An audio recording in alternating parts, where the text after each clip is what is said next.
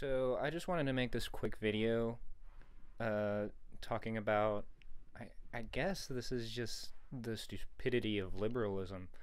I recently took a Gallup poll and one of the questions asked me if I considered myself very liberal, somewhat liberal, very conservative, or somewhat conservative.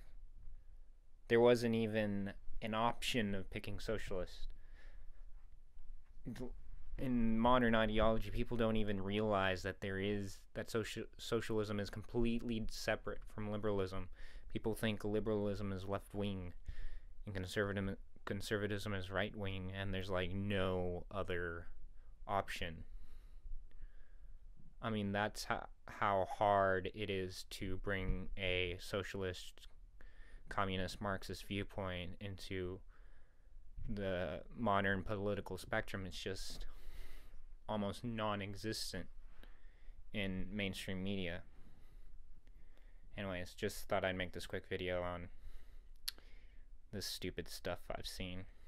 Alright, well, bye.